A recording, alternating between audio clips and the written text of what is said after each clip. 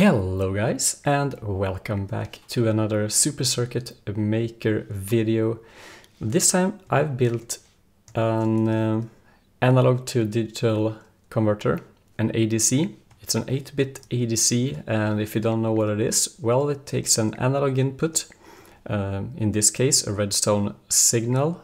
Uh, as you know we can have 15 strength of uh, redstone signals. And in Super Circuit Maker they will transform into power levels in step of 17. So this means that we the maximum number is 255 and the lowest is 0. So we can take this input and output it in a digital way in a, in a binary code. So as you can see here, um, now let me just take my note so this one is, what did I say, 12? That means 204 and that translates to 1100, 1100. This isn't extremely useful just standalone like this, but my hope is to translate this to something more useful and by then I have this circuit finished already. So if we just change these levers to get a stronger signal. This will change and this is the strongest one, 255. So let's go through how it works and then, uh, well, and basically not much more. You can find the link to this one in the video description along with some other useful information. So please always check there. So Let's start from the beginning with this. As you can see, it's done in seven steps. This will give us the final output. But every step looks very much the same. So this is one of the steps. Every step looks very like and we are using a divider, a multiplier, a subtractor and the constant. This constant is the only thing that is different. So these are all the circuits I use in that design. And the only thing that differs is that they are rotated, that's one thing. But this one is 128, 64, 32 and so on. 16 and all the way, well, 8, 4 and down to 2 here. So that's the only difference. So now let's go through how it works. In this example, I'm just using a lever as input. This means 255 when we are running. So 255 is an input. With the constant is 128. We can measure it as well. Basically, this means do we have 128 in the input signal?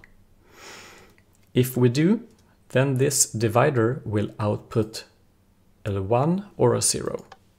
So now it's on, now we have 255 input, we have a 1. That means that if it was 256 we would have a 2, but we won't get that. So we get 1 output and you, we multiply the 1 with 128. That gives us 128 output as well.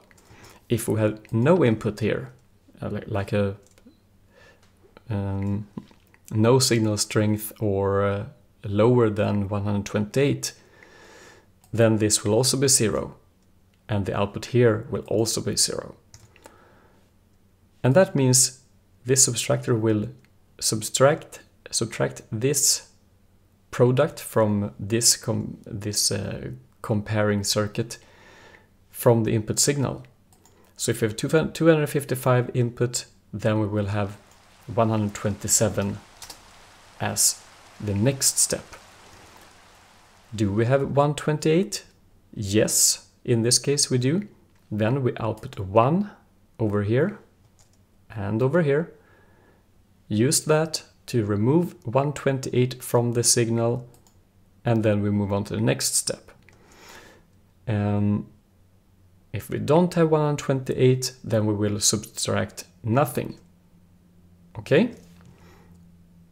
And then we just repeat this step. We can do like this and just redraw that wire like that.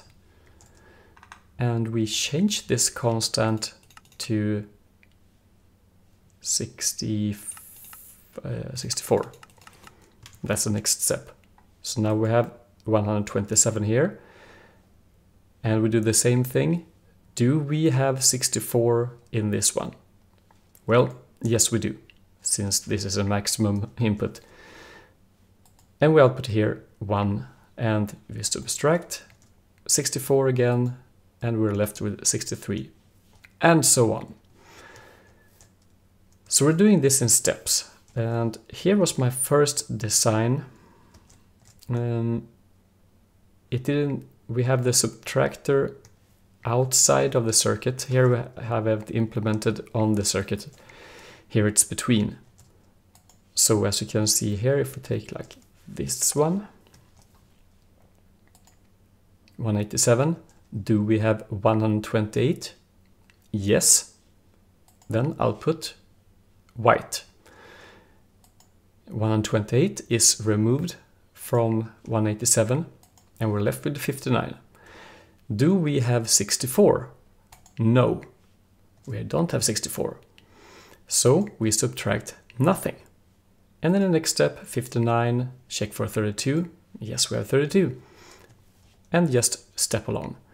Now, this was my first design, and even the, though this is quite similar, it's only the subtractor that is uh, implemented in this, uh, in this chip.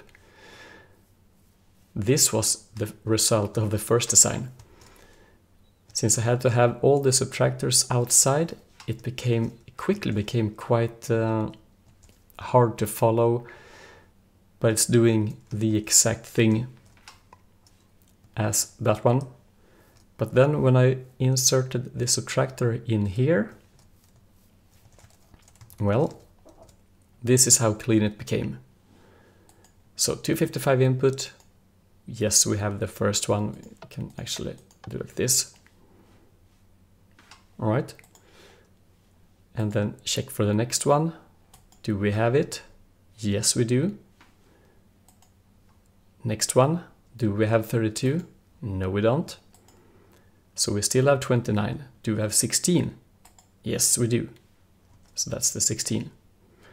And then this is the 8, the 4, the 2, and the final one is, uh, the, we don't need the final comparator so here we are comparing for, for 2. And in this one we would have compared with do we have 1, then output 1, if not 0. But if we, this is just the leftover. So only 7 comparing steps are needed. So that, well, one, one final thing to do, I guess. So now we know if you take this code blueprint and we type SCM export.